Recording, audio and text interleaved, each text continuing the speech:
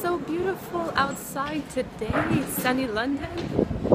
I'm in uh, near Tottenham Court. Um, I'm on my way to meet a candidate who's handing in her notice and she's uh, really excited to find a new role. Um, so I'm going to help her out with that.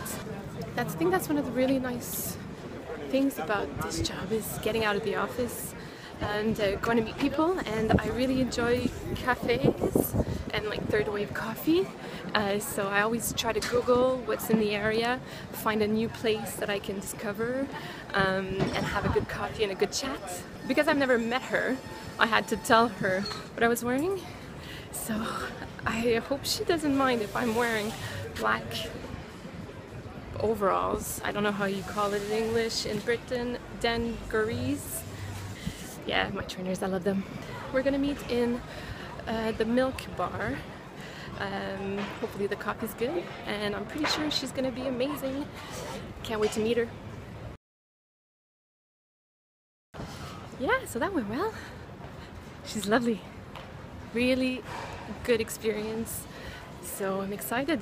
Back to the office. We'll see what can what can be done. Talk to you soon. Bye.